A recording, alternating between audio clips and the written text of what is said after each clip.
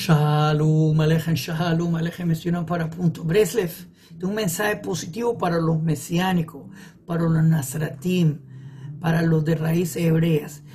Este mensaje es para todos los que están entrando, los que se encuentran y los que han salido. Una pregunta simple para comenzar. ¿Ustedes sienten un llamado interno de su alma a tal movimiento?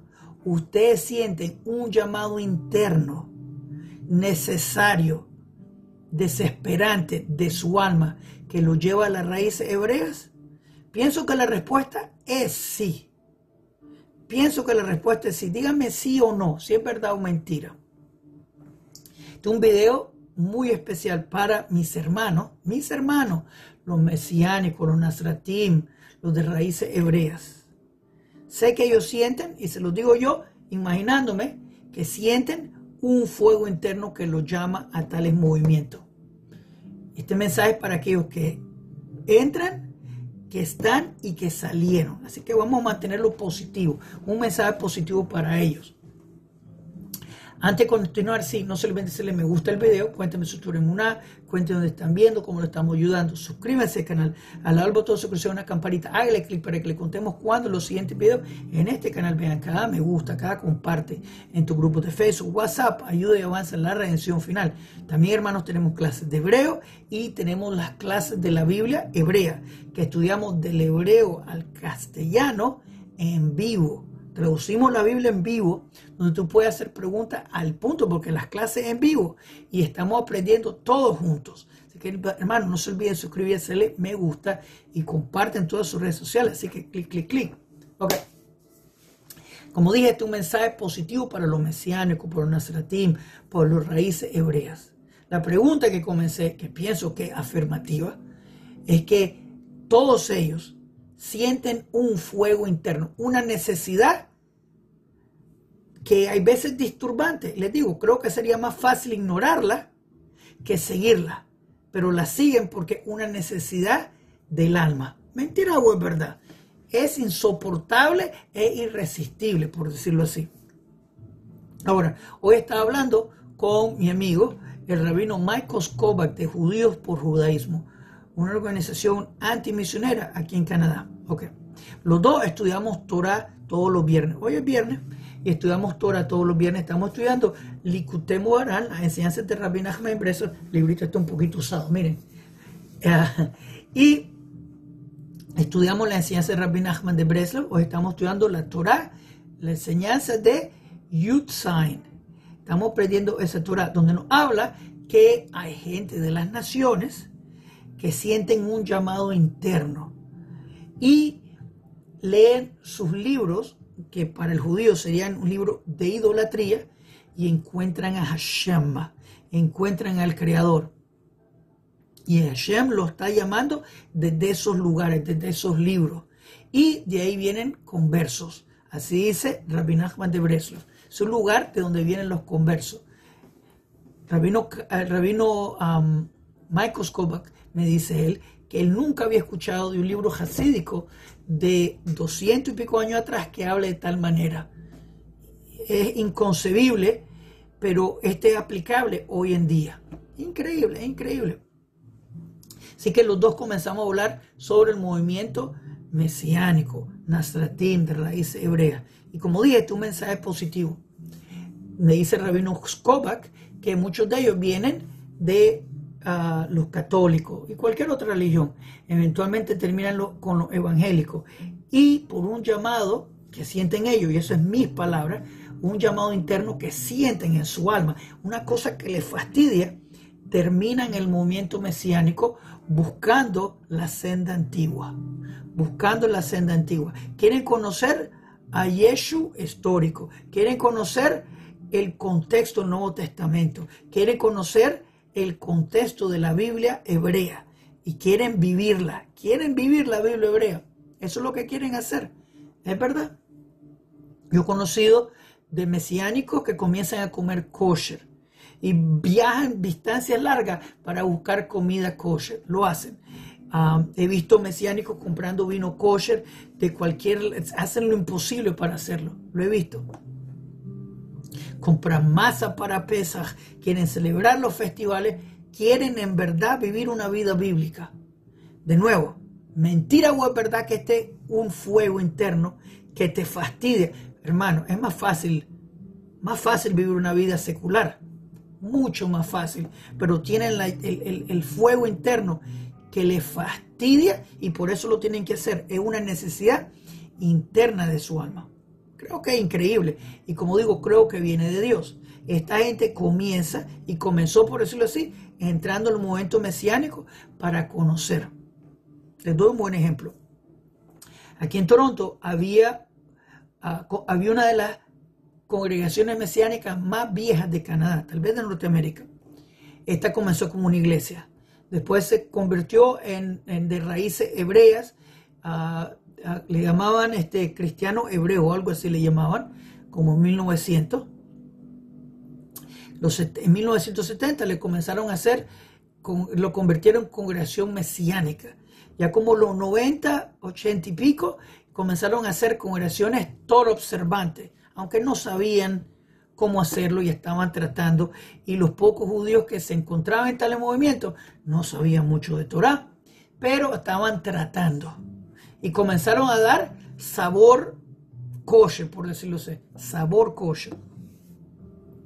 Eventualmente se convirtieron en Torah observantes o comienza a buscar hacer observante a la Biblia, a observar más la Biblia y comenzaron a celebrar los festivales bíblicos de la mejor manera posible, a su manera, tratando de indagar del judío cómo se hace eso, cómo se hace lo otro. Y estoy hablando de los judíos kasher. Estaban tratando de regresar a la senda antigua. Indagan de sus libros y ven que su que su Yeshu celebraba festivales, que vivía en una comunidad judía y quieren imitar eso. Que está muy bien. De nuevo, dígame que es mentira o verdad. Es una necesidad de su alma que le fastidia, porque es más fácil no hacerlo. Lo que pasa eventualmente es que muchos de ellos terminan renunciando a Yeshu, terminan renunciando al cristianismo reempacado y terminan en judaísmo ortodoxo el punto del caso, de nuevo, la congregación más antigua de Toronto, que era cristiana, mesiánica, toro observante, ya cerró las puertas. Este año cerró las puertas porque, de acuerdo al líder, que yo lo conozco, o lo conocía gracias a Shem, ya no está aquí, se fue, ah, se corrió, se corrió de Canadá, hizo algo ilegal para que sepan, por eso se corrió. Les cuento un segundito él eh, me confesó cuando le estaba hablando día antes que se fuera, porque eh, le estaba diciendo que uno de sus dirigentes, que es amigo mío, ahora está haciendo conversión al ortodoxo. Yo se lo estaba diciendo por un poquito de burla, en verdad. Y él me dice, ah, ya no me importa. Le digo, ¿cómo que ya no te importa? Y me dice, todo el mundo está haciendo conversión en mi congregación ya no tiene punto. Todos ellos están abandonando el movimiento mesiánico por judaísmo de Torah. Ay, me arruinó mi, diversión. Estaba burlando a un muchacho y me arruinó porque en verdad no esperaba tal respuesta. El muchacho después quiso vender el edificio y salió corriendo. Ese es otro cuento que no va al caso.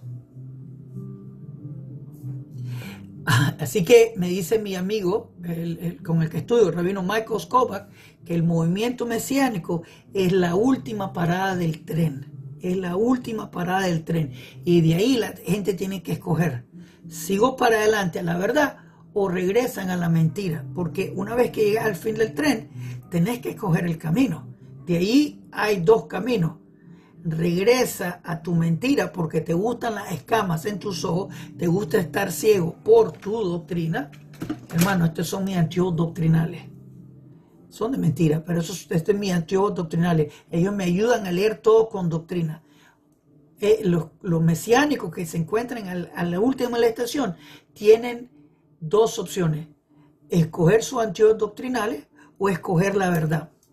Buen ejemplo, es que estamos estudiando hebreo. Y muchos de ellos están estudiando hebreo. Se dan cuenta, por ejemplo, Isaías 7:14, que dice que la muchacha joven va a concebir. De acuerdo al Nuevo Testamento, esta es una profecía mesiánica. De acuerdo a los cristianos, Miriam, casada con Joseph, sale preñada de otro. Miriam, casada con Joseph, sale preñada de otro. Definición rápida, adulterio. Pero ellos dicen, no, es que Dios embarazó a esta mujer porque esa es la profecía de 7.14. Interesante, están diciendo que Dios cometió el mismo pecado de los nefilim, el pecado que el Eterno condenó, están diciendo que este Dios pensó después que era buena idea. Como que no, como que no. Peor, obviamente, es cuando uno lee el, texto en hebreo de Isaías 7:14, uno ve que dice muchacha joven, uno lee, tiene que leer el contexto del comienzo del 7 hasta el final del 8, que te dice que es una promesa por el rey Ahaz, que la muchacha joven va a salir embarazada, y vemos en Isaías 8:3 que la muchacha que va a salir embarazada sale embarazada por Isaías, su esposo. Te lo dice el contexto. Así que no es, ah, no está aprendiendo a ser astronauta, es la simpleza que siempre gana. Y hay muchas cosas que, que han sido engañados, mis hermanos, que se encuentran en los movimientos mesiánicos. Y ahora tienen que decidir, ¿busco de la senda antigua o regreso a la senda cristiana de donde ellos salieron. Baruch Hashem, muchos de ellos están decidiendo regresar a la senda antigua. Ahora, y acuérdense que tienen ese fuego adentro, ustedes pueden escoger. Ustedes pueden escoger seguir ese fuego que les fastidia y cumplen su misión en la vida y regresan a la, a la senda antigua. Y pienso que la mayoría va a hacerlo, pero algunos, por tercos, por orgullo, no lo van a hacer. Tienen que buscar la verdad busquen de las escrituras hebreas. Tenemos una serie entera sobre el libro de Ezequiel, por ejemplo. Ahora estamos haciendo una serie del libro de Daniel. Síganos a nosotros, aprendan con nosotros. Si uno ve, por ejemplo, en la serie que tenemos de Ezequiel, 40 hasta el final, vemos que el Eterno está llamando al pueblo de Israel de regreso. Desde Ezequiel 37, donde el pueblo de Israel regresa a su tierra, el Mesías es revelado. Ezequiel 37, verso 23 y 24. El Eterno purifica al pueblo, el Eterno santifica al pueblo, ah, el Eterno el que salva al pueblo, el Mesías es revelado, el antimesías viene a pelearle al Mesías verdadero. Ese es el orden. Te lo dice Ezequiel 38 y 39 también ahí. Que el antimesías viene, que es Gog de Magog, pelea contra el pueblo de Israel. Nosotros ganamos, lo exterminamos lo enterramos en Israel, en el valle de Guidó, por eso le dicen Armageddon, que es Har Guidó, el monte de Guidó, ahí lo enterramos, y comenzamos a construir el santo templo, el tercer y último templo. Así que el antimesías muere antes de la construcción del templo, contradicción del Nuevo Testamento. Y eventualmente ah, reconstruimos el templo y la Shajina de Dios cae y cambiamos el nombre de la ciudad a Hashem Shama. La, la ciudad cambia nombre. Ese es el evento que viene. Uno lee el libro de Apocalipsis y el fin es total diferente. Solo uno de los fines puede ser verdad. Solo uno de los fines es verdad. Léanse los dos si están buscando verdad. Van a ver y van a darse cuenta que el fin de Ezequiel y el fin de Apocalipsis es 100% diferente. Estamos al fin de la estación de tren. Escojan. Escojan con sabiduría, con temor al Creador y no con orgullo. Están al fin de la estación. Escuchen ese fuego interno. Hermanos, les deseo Shabbat Shalom Hoy es viernes. Sean fuertes, sean valientes. Kultuf.